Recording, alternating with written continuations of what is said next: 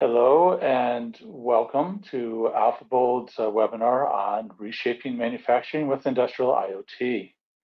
We'll be exploring some use cases and trends and uh, certainly be here available to answer any questions you guys may have. Thank everyone for joining us. Uh, I'm going to, uh, my name is Brian and I'm going to get us started and I'll introduce our speaker in just a moment. We're going to talk about uh, the big topics that we're going to cover today our agenda is uh, we're going to define what is IoT just to make sure we're all on the same page and how that uh, differentiates between industrial and consumer IoT. There are different purposes behind those and different applications of them. Uh, we'll talk a little bit uh, specifically around the use cases within industrial IoT. That is the focus of our uh, webinar today and some of the opportunities and benefits that uh, that presents and offers. Uh, we'll discuss a little bit about how uh, to take into consideration uh, cloud versus native deployments of your IoT and how those scale and provide security and various aspects for how you would implement that. Sam will actually do some demonstration of things in real things in action. Moving on, let's talk a little bit about logistics here. So IIoT solutions can help in enabling much better visibility into the supply chain by way of deploying connected systems. Uh, these solutions can be used for vehicle tracking where the goods are in transit and goods tracking on the individual level can also help identify the health of each item. And it's a game changer for uh, solutions like cold chain where you have temperature sensitive uh, material in transit. Okay, let's talk about IIoT in healthcare. It is also referred uh, to as IOHT, which is Internet of Health Things. Uh, it's rapidly transforming the healthcare landscape as it enables remote health monitoring. Um, accurate health updates can also be tracked uh, uh, with telemetries like blood pressure, heart rates, and the blood glucose values. Notifications and reminders about health problems is, is also a key uh, use case here, especially in the senior or elderly care use, uh, you know, um, use cases. Anomaly detection is, all, is enabled and also remote consultations. Okay, so here in the industry sector, uh, in the energy sector, IIoT um, is helping with the management of the demand with improved regulatory compliance with the deployment of smart meters and grids. Worker safety is also a key component here. Moving on, here are a few considerations uh, while choosing between the on-prem solutions uh, versus the cloud-based implementations. I'll provide examples as we go over those points. So I'll start off by availability and scalability. So in the on-prem realm, um, an example of that would be uh, a project that we delivered for one of our clients. And their requirement was to develop a custom MES, which is manufacturing execution system, that was to be deployed worldwide, more specifically North America, South America, Asia, and the EU. And as you may know that shop floors are not the usual office type environments. And it is not always possible to ensure reliable internet connectivity which means the moment you know they lose internet connectivity they stop manufacturing which is a strict no-no. So therefore their fundamental requirement was to develop an on-prem solution which was to be deployed on the factory's local network uh, to mitigate the risk of unreliable uh, connectivity. But on the other hand uh, an example of cloud solution would be in b2c scenarios let's say you have wearables. um, and then there the requirement is to pair the uh, wearable with a mobile application um, and, and maybe render some real-time plots on the mobile application, but most of the data analysis actually is performed in the cloud backend. So there the availability and elasticity provided by the cloud services become uh, critical and deal-breaking factors. Uh, moving on to the next point here, cost optimization and financial viability. So it's to ensure that the developed solution, which may be fulfilling all the functional requirements, also remains financially viable from the cost benefit standpoint. An example, let's say you have data that is being generated. Um, uh, an example of that would be vibration analysis. And if that data is enormous in volume per unit time, then offloading the processing to cloud-based services may help fulfilling the functional requirements, but the implementation cost would be too high uh, because that would make the, the solution cost prohibitive then in such situations, it's recommended that you know you need to perform the heavy lifting locally, either on the edge device or to a locally deployed system. and sync only the critical pieces of information in the cloud that may help with an analytics and, and reporting. Uh, moving on to uh, data security, um, and um, another aspect is, uh, um, you know, is data security. In one of the workshops that I was conducting with the client, a concern was raised about their data security. For example, for regulatory compliance reasons, they couldn't keep the data in a third-party storage service, which means, which includes all the, the cloud storage services. This element then becomes an important consideration for choosing between cloud versus on-prem solutions. Uh, reporting and analytics. The data generated by sensors eventually gets consumed by reporting services so that more sense could be made of it for business or operational reasons. Uh, the sheer horsepower coupled with the elasticity features, in addition to the business intelligence capabilities you get with the cloud, helps in fulfilling the business objectives by transforming the raw time series data into actionable insights. But like everything else, it also depends on the circumstances and the actual requirements. For example, the licensing cost per user and how intricate or complex the reporting requirements are with data security imperatives. And keeping all those in view, they become important factors in choosing which way to go. Integration. Now, talking about actionable information. What if there is an alarm that goes off related to the malfunctioning of a critical piece of machinery? Then in such cases, it's possible to capture such events and have them integrated into the field service modules of the MES or ERP systems as support tickets that get uh, assigned to the support personnel in real time. Uh, this use case can further be refined uh, into predictive maintenance uh, in which the listening AI can generate alarms before the occurrence of the malfunction. Supportability. Now, the technology of choice for the implementing organization is also an essential factor while working on the overall architecture of the solution. Whether it's .NET, as is the case mostly in SMEs and even bigger enterprises, or Java, or the other open source options that we have available like Mean or MERN stack or Python-backed frameworks, etc. It is vital to have a clear idea on how to support different aspects of the IoT solution post deployment.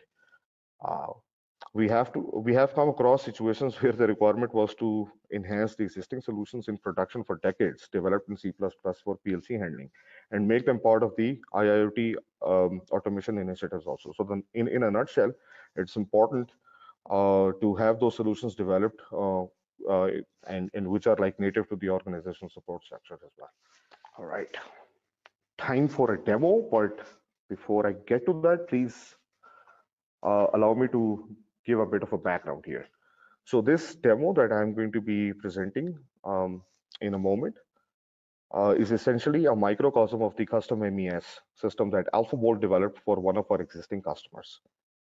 Uh, the core pillars of this system are process automation, error proofing, operational efficiency and velocity improvement, and business reports for planning purposes. Now, let's talk about process automation here. We achieved that by automating uh, daily tasks um, and workflows. Uh, we also integrated with business systems like warehouse management system, WMS, to manage the flow of orders. Uh, we also integrated with modern and legacy manufacturing equipment by way of developing machine interfaces uh, running inside controllers and also uh, made sure that the serial communication and PLC integration was performing properly. We also developed customized UIs to help drive the process flow for the operators. Uh, moving on to error proofing. Uh, this, by the way, is one of the core or main objectives this solution helps achieve. Um, the whole idea is to minimize the write-offs here. In other words, it's an effort to minimize the loss incurred. A few examples.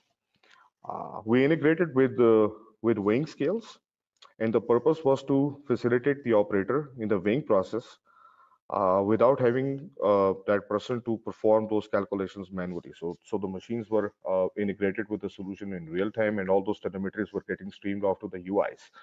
And uh, all those calculations that were required to be performed were were were being performed on the fly.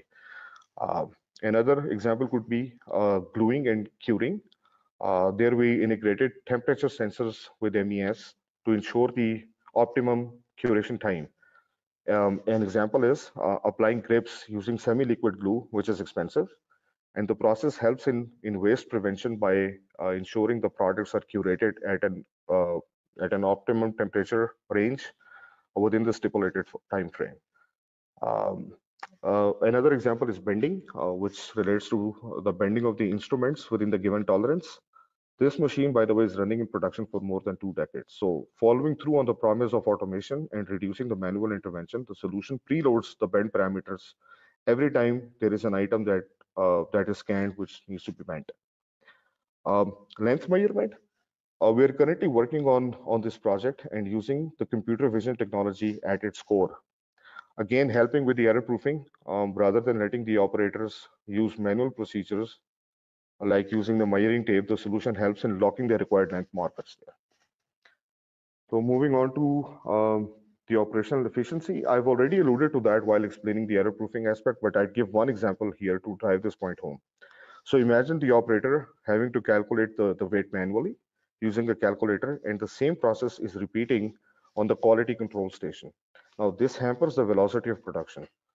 Uh, due to the automation of this process, the potential of increasing the throughput actually multiplies. Uh, business reporting. Um, so far, um, I've touched upon the operational aspects here, but it's imperative for the business to gain insights into the day-to-day -day activities. Uh, reports help the management make informed decisions. Some examples are KPIs, uh, such as the number of items produced per unit time, best performing stations, um, stations reporting the highest number of write-offs, uh, which operator is taking a break and for how long, um, how are different shop floors or factories performing in comparison. Uh, so those are some of the reports that we developed, which are part of this whole solution. All right, so enough talking, let's go to the demo here. Now, for better understanding, this is a simplified demo of the temperature probe use case. Um, in this demo, we are capturing live fields using the probe mounted on the controller. Um, these telemetries are then streamed to the remote applications. Um, the one that we uh, developed for this webinar is deployed on Azure using Azure IoT, and the other example is that of a custom developed application.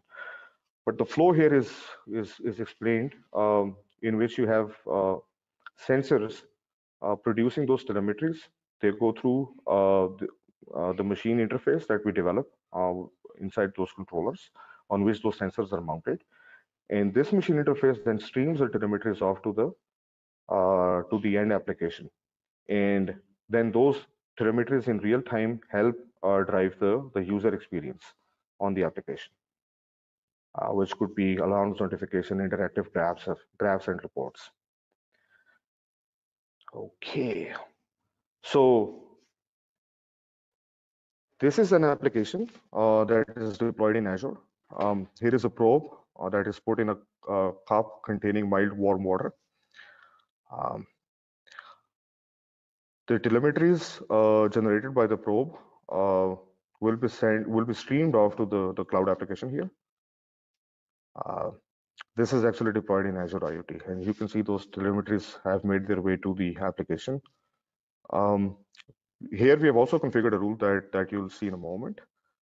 Um, and that as per the rule if the temperature value were to exceed a certain threshold value then um, an email notification is sent out. Uh, we can further uh, customize the solution by way of integrating this event uh, with other business applications. Let's say microsoft dynamics field service module and there is a support case that would be opened uh, prompting action by the field service staff Okay, this is an example of the, the email notification that is being generated by uh, the cloud application.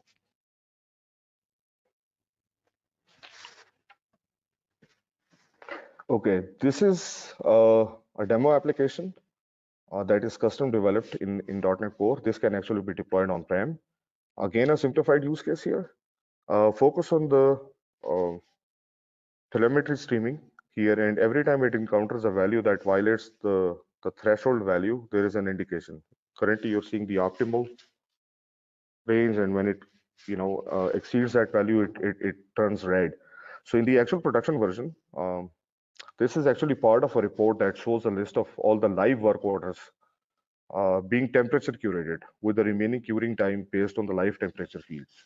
And every time you know that that you know, the, the curation time for a specific work order is is completed, you know that specific work order then drops off the report, and that report is deployed uh, on the shop floor and it's being shown on on big screens there. Okay, moving on. Um, this is an example of a very interesting project that we are currently working on. Um, it's related to measuring the length of the given instrument using computer vision. Um, uh, the general process flow at a higher level, if you can see that on the left side, uh, you have the camera fields, uh, which are made to go through the computer vision pipeline, performing steps such as edge detection, erosion dilation, and contour detection. And the outcome of the pre-processing is the length of the given instrument. In this example, the length of the instrument when uh, uh, measured in a manual way using the vernier caliper, it's is around 5.5 inches. And the length determined by the, the test application again is also 5.5 is actually 4 uh, 5.47 but if you were to round it off it, it uh, becomes like 5.5 inches. So in in computer vision projects the environment also plays a very uh, important role. As the attributes like lighting camera angle distance from the object uh, those attributes can actually be fine-tuned to achieve more realistic and acceptable results as well. With that said i'll move on to the next slide and uh, that is related to how AlphaBold can help. Now, um, we offer a number of services, uh, starting with strategy, architecture, and design. Uh, we also offer project management and business consulting services. This includes engaging with cross-functional teams, device vendors, developers, and uh, other business stakeholders. Uh, we also provide device prototyping services on a number of hardware platforms. Um, moving on to the solutions. Um, so app development both on web and mobile. Um, I, I, showed you examples of, of some of the web applications there, but we also uh, work on on uh, wearable solutions in which mobile is a uh, is a central element there. Um, image processing, data engineering, uh, and analytics, uh, as well as artificial intelligence. So aside to uh, IIoT, we also uh, work on uh, robotic process automation, uh, natural language processing, and machine learning solutions. So in a nutshell, we cover the entire spectrum. Uh, that includes device to the application all the way to the backend. Um, so it is very important to pair with a knowledgeable consulting partner that understands the domain well. And if you want to embark on the journey, don't know that uh, you have a willing partner who wants to go on that journey with you so that's it. So, right. So uh, we want, of course, want to thank everybody who participated, uh, you know, that has joined us for this and uh, spent some time with us at AlphaBold. Uh, we love to connect with you and, you know, see if uh, IoT is appropriate within your organization, help you make that determination, and also to help you evaluate to what type of investment, uh, you know, strategically you would be required and and how to uh, part, you know, who to partner with, and hopefully that's us. Uh, but uh, what you know, the right way to approach it, and the right way that you can benefit from it, and uh, all the considerations are related to a successful implementation. Uh, we want to encourage any of you to uh, reach out to us and let us know if you are interested in a follow-up conversation, and we'd be glad to talk. Um, great. Hey, actually, we got a question that just came in. Uh, so mm-hmm. this is from uh, Wendy. Thank you, Wendy. Um, so the question is, can you share a bit of the challenges you roll uh, as you roll out uh, the application to the floor with limited connectivity as well as uh, globally from U.S. to other countries? Great question. Oh, yeah. We could probably have a whole Absolutely. webinar on that. True that. Thank, thanks for that question. So yeah, there are we uh, actually face a number of challenges starting with languages first. I mean the way the application was designed uh, as i mentioned i mean it was supposed to be deployed uh, in, in, asia as well as in in south america. So i mean uh, it was just not something that that was uh, being rendered in english. So we had to make sure that you know um, it, it was deployed in a way in which it can assume local settings and the local languages then take effect and the operators there who are who are uh, you know natively speaking those languages can understand the functionality functionality better Okay, so from that was one of the considerations there. Um, aside to that, as far as the deployment is concerned, it's a it's a uh, it's a great question though. So uh, it's not completely something that that that is um, disconnected from the cloud. So the deployments we do through Azure uh, uh DevOps, and we have uh, developed all the pipelines. So we check in the code, it goes through all the QA and, and things of that sort. Then eventually it makes its way to the shop floors. And once that is done in a controlled environment, then the solution is actually running autonomously. Um, so that's a, that's another thing that that we have implemented. And as far as the machine interfaces are concerned, most of them, I mean, uh, uh, are are not like developed in .NET, in which the the main application was developed. So machine interfaces uh, are, are developed in, in other uh, platforms like you know Python backed frameworks and what have you. So in those situations, uh, we have developed solutions in which whenever you're reading a controller, it connects up to um, the uh, remote uh, repository. And there we have also developed applications in which it lets the IT staff there, uh, you know, go through the steps and in making sure that it's actually pulling in the the the correct uh, machine interface with with the proper configurations things like you know which station it needs to be connected with. And so that the the, the telemetry could could actually be streamed uh, through uh, that station and not any other station and things of that sort. So yeah i mean it, it is just not like one uh, pipeline that is at play but you know we have a number of automation solutions that that we have developed which are actually providing the required service as as far as the deployment of the whole uh, solution is concerned Thanks, Sam. Yeah, Wendy, I've actually had uh, some similar experience with the shop floor and uh, a food processing plant where uh, networking didn't uh, reach the you know the full extent of the, the, size of the plant. Right, we did some extensions, and so there just wasn't any coverage either from wireless or uh, from uh, what we'd have to do in our case, dig up the floor in order to actually wire the environment. So we actually came up we had a, a bot, uh, like a, uh, like a cleaning bot, which we put a uh, Bluetooth beacon on that would go out and connect uh, to the various devices, and it would go out on a regular interval to collect information, and then it would uh, be able to transmit back up once it got within range, and so we'd be able to collect all the data that way. The gallery. If not, we're going. We'll close it out there. We want to thank everybody for your participation. All right, we hope that everyone has a wonderful day. Uh, we will likely reach out to you and see if there's anything we can learn that you learn from this and anything we can do better, as well as any way we can help you. And uh, you know, we, we, appreciate you looking to Alpha AlphaBold as a as a resource, and we hope that we have a chance to engage. Thanks so much, and have a wonderful day. Thank you, everyone.